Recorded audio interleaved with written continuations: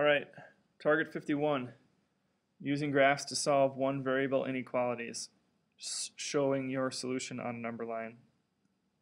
A couple of typos in this question that we need to fix before we even start doing this is that this should be x squared plus 4x plus 3 and then this symbol here should be greater than or equal to and that number 4 should not be there.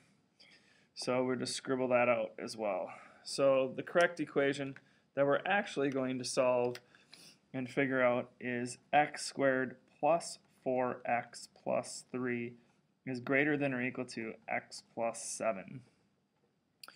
Alright, with that being said, we're going to need to graph this. So our first move is going to be to graph it like this. Now, in order to graph it, what you're going to want to do, it says using graph to solve one variable inequalities. We only have x's in our question, so again, our answer is going to be on an x number line. It's kind of like an x-axis number line where we're going to show our final solution.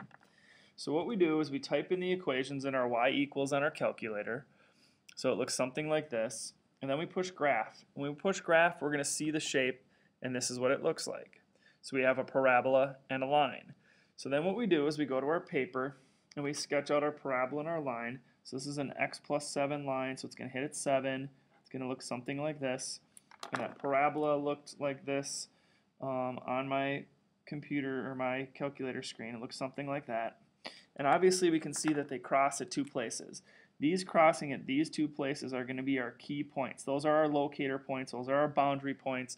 Those are really important points right there, those points of intersection. So what I do is I use my calculator. I go second calc, intersect, enter, enter, enter. And it shows me that those then intersect at negative 4 comma 3. So one point is negative 4, 3. That's this one over here. That point right there. And then this intersection point, I can also find that on my calculator. If I trace and go over a little bit, so I get this thing going to kind of close to where I want to be. That looks pretty good. Second calc, intersect. And I get 1 comma 8. So 1 comma 8 is the other point of intersection. 1 comma 8.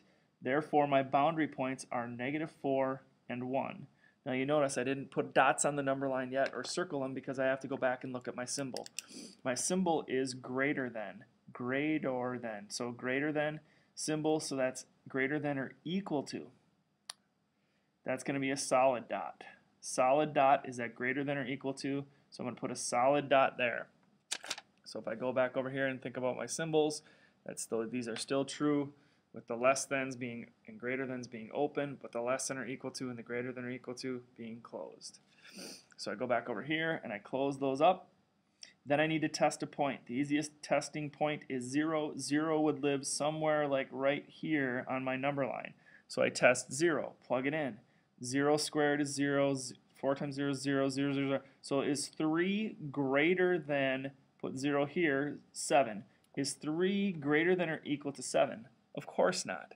So that is not true. Therefore, I'm not going to shade in there. Plus, this is great or, so I'm going to be shading out here on these sides of the number line. So my final answer would be x is less than or equal to negative 4 or x is greater than or equal to 1 if I was expected to write that in domain notation as well. Now, you can also see this on the graph because it's asking you when is the parabola greater than the line. Well, if I look at this picture, when is my red, because my red is my parabola, when is my red graph above my green graph? Well, you can see that location just by kind of checking out what the picture looks like. These parts right here are greater or above the line at those spots, and it's split apart. So that's where this comes down, and it's going to be all of that stuff, because anytime I go this way, it stays above. And then from here, this kind of goes around, anytime above that, it's going to be over here. So you can see it in the picture as well on which side to shade if you think about the meaning of the actual question. The question was when is the x squared parabola greater than the line? Well, when it's above it. And that's the values on the number line over there. You can also find it by testing 0.